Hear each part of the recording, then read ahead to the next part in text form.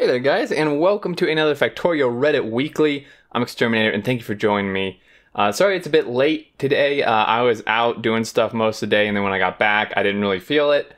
Uh, but I'm feeling it now, so let's hop in. Uh, I showed my girlfriend Factorio a week ago. Today she sent me this. I think I've seen this. oh my god, that's perfect. Salt and red science. Oh man, it's perfect. oh man, that's hilarious. She's a keeper. Surround, surround her nest and belt so she can't get away. Is she single? The factory grows. With both people playing Factorio, they'll both be single soon. Can't keep a relationship with that going on. oh my god closest first teaser. So this I think this is a mod, uh, closest first, and I think it what it does is it has it makes it so your bots deconstruct the things that are closest to you first, as you can see here, rather than just flying out and hitting like random, like randomly which ones they pick up. They're all doing it closer to the character, which I think is really cool. Um, because a lot of times when you're picking up builds, uh, you know, you maybe want to just pick up the things closer to you first. Um, so this is really nice. Heart. oh my god, that's awesome. Plant loves you even after after how you've carved it to ship bonus people and stolen its minerals. Oh my god. It's very true though. Pickaxes are going away in 017. Stack up as much as you can. Oh, you gotta be kidding me. Is it seriously? Those are all steel axes. Holy cow. Anti-elites would love this. Team Steel Axe would be all over this, man. 750 speakers on quick bar. I want to live in your world. It speaks for itself. Wow.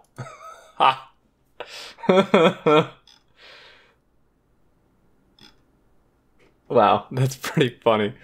Uh, let's enjoy the game now.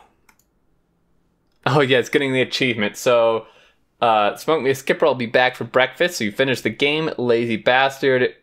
Steam all the way, no solar, raining bullets, so not using lasers, and then no logistics network. So basically, yeah. Um, if you're doing all these achievements at once, it's probably not that fun unless you're really into it. So as this person says, let's enjoy the game now that we have this stuff out of the way. How long did it take you to finish this run? 25 hours, 38 seconds.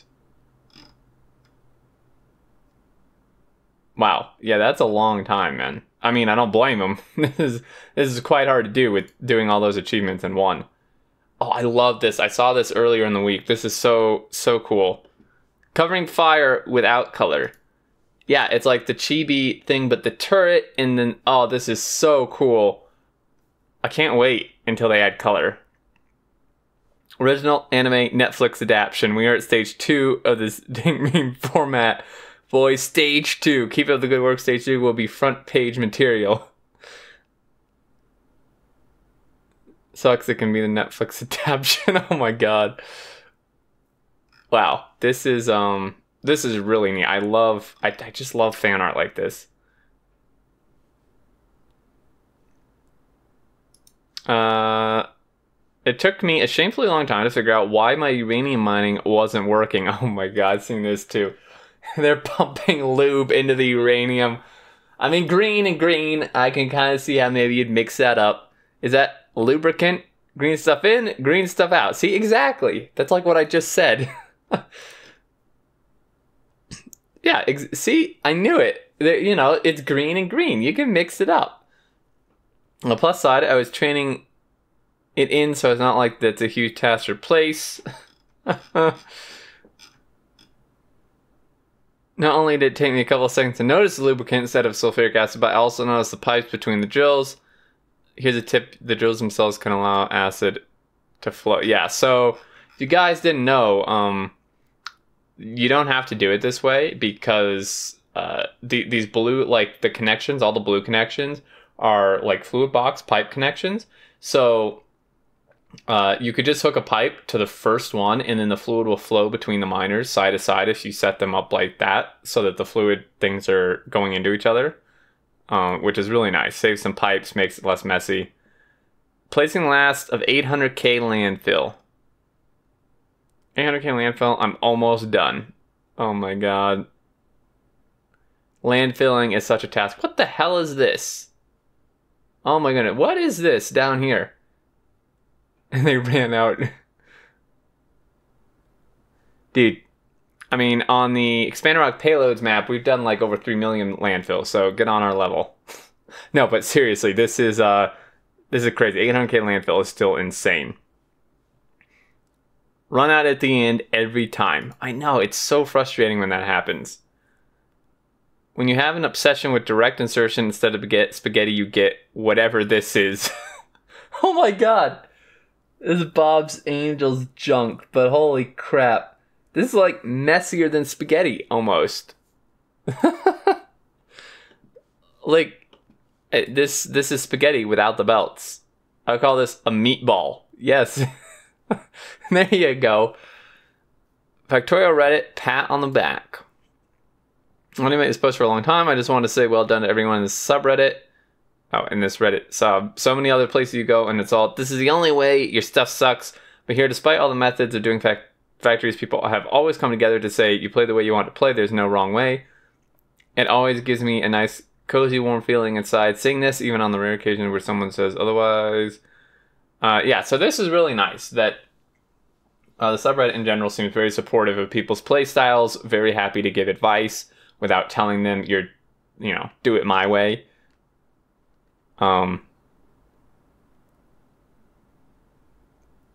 yeah, this is this is really nice. Time to expand my base, and I haven't done some old school combat in a while. So, oh man, using the combat bots, they're super good against bases. This is sped up. I'm pretty sure. Um, maybe not. They just have a lot of exos. I think it is sped up though. Um, the combat robots are really good against bases and worms and pretty much small, medium, and big biters, but I found them to be very lackluster against the behemoths, which, um, it, you know, is a problem. it just takes them forever to kill them. This is oddly satisfying iron or offloading station that I make. I mean, that is pretty nice. It's, I, I mean, it's symmetrical. Called print screen. Did they? Oh yeah, they took a picture of their monitor. I think. oh my gosh. Picked this up an hour ago, or so I thought. I actually picked this up four hours ago. this is so perfect for the game. The factory grows. One of us just checking, but you are aware that it's your the year 2019 now, yeah? I said to myself, 1k science pack per minute will be enough. 3,300 rockets and a whopping 19 gigawatts later, I'm stabilizing at 5k science per minute. 5k science per minute will be enough. um, so this is with Bob's mods. I can because there's all this other stuff. Uh, not that it's not impressive. I would just wouldn't compare it to vanilla, but this is this is still pretty awesome. 19 gigawatts is some heavy power usage, man. I'm sitting over here trying to reach 60 science per minute. it's like there's definitely like a, a, threshold, both mentally and just build wise, that you have to cross to really get into that mega base stage. And it takes, it's really hard to get there. Um, which is like, you know, part of why I did my Tightening the Belt series is to, you know, kind of help people try to make that transition who want to. Should be a late game hover car that can fly over obstacles so you don't collide with anything. Except for things like tallest power poles, you should be able to fly over things to avoid the aggravating collisions the car the scar up your factory with health bars. Yes. Um, Spidertron would be great, or some sort of hovercraft or airplane or helicopter. Obviously, I know there's mods for the aircraft and helicopter, but in base game, it would be really it would be really nice to have something like that. My friend and I are new to Factorio, 38 hours in, and I feel like we are 5% of the game. We are proud of this. The hell is this? I'm confused. What is this? Is this brick? It looks way different. Stone pad does not look like this normally, does it?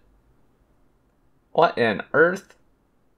I'm I'm a little confused by I mean the builds. I like the builds, everything's clean, but this path is like driving me nuts. I'm saying if anyone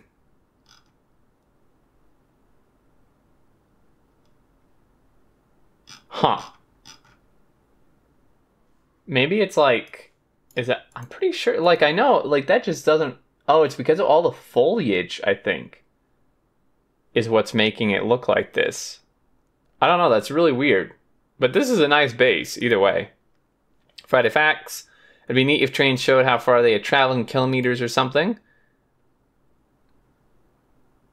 It's traveled three somethings. That's like five di- distances. That would be kind of cool. Still don't have enough water. Never enough water, man.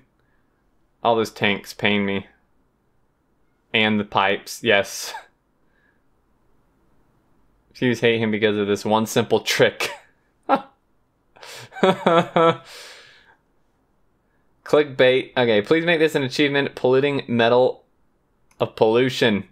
Reference to Futurama given only to players truly dedicated to polluting the planet. Dude, I definitely get that medal, I think. Produce a bazillion megawatt sits using only coal. I'm gonna start requesting Easter eggs. Uh, my friend's first spaghetti factory is a wonderful sight. Definitely some decent spaghetti there. We see a thousand spaghetti posts on here that are everything but spaghetti. The spaghetti is so pleasing to me. Even my dead Italian grandfather smiling upon it from his grave. Yeah, this this is reminiscent of some of my first bases. Definitely, you know, kind of hodgepodge building, just kind of fitting stuff wherever it will go. I've said it before. I really like bases like that. You can see the reduction in biter attacks every time I activate my perimeter of artillery guns. Active perimeter artillery drops in consumption. Perimeter. That's awesome. Bullet consumption. Every time I activate the artillery surrounding my base, there's a spike in ammunition consumption while biters retaliate, and then a significant drop in activity. Very satisfying stuff. That's, uh, yeah. Totally is pretty good, man. This belt intersection looks like a moose. oh, it does. I see. I see the moose face. Pikachu! I spe- see spaghetti, though. this isn't really all that spaghetti-ish. I don't really enjoy to be that guy. But it's... The factory grows, not factory must grow.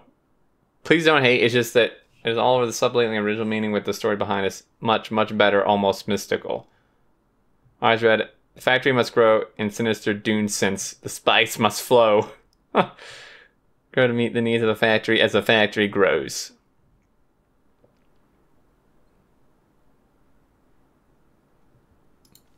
Uh, laziest way to build mining outposts ever. Longer explanation and blueprint in the comments laziest way.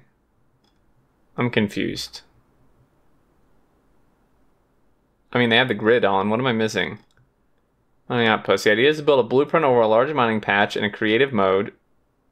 In creative mode that is big enough for most of the patches that you will see in the game, and then just stamping down the blueprint on every single patch that you see. So we'll cover up to 64, 64 tiles and mining drills. Each stamp comes with a construction station. We'll automatically build the rest of the outpost. Loading station, pack station. Because I always play biters on there are laser turrets. Yeah, about that. yeah, this patch really isn't that big. Um, but this is cool. They've kind of find, found a nice way to automate it for sure. Automation is always key, man.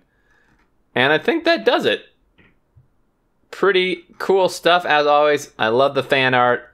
Some funny posts. This mod looks really nice, um, for sure.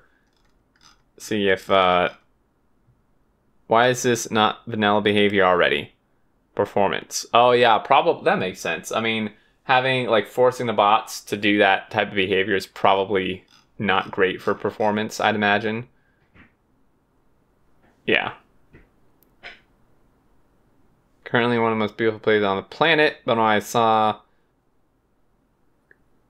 probably get and test other mods a couple of days. I'm interested in what the, where this is though. Oh, that's awesome. Factorio Wiki 2 open. I love it.